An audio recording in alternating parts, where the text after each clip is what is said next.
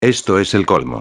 Que un día como el 25 de mayo salga este impresentable a criticar a la oposición, cuando el muy caradura renunció justamente por actos de corrupción es una broma de mal gusto. Este hijo de puta debería estar preso. Por otro lado, que la policía haya empezado a reprimir a la gente que salió a manifestarse, sea por el motivo que sea, ya saben que la política es algo que me genera asco, sobre todo sus representantes, pero no por eso voy a negarles la opción de ir a protestar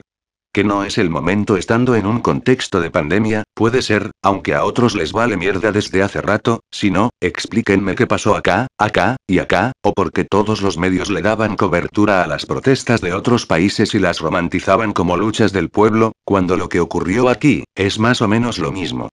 Otra cosa, parece que los políticos viven en una nube de pedos ya que en la mañana el cascanueces que tenemos de presidente se la pasaba desviviéndose en elogios hacia el gobierno de México con el quilombo que tienen allá, y hace algunos días, la vice en plena sesión se encontraba más preocupada por los bombones de mierda esos, que en las restricciones a la circulación.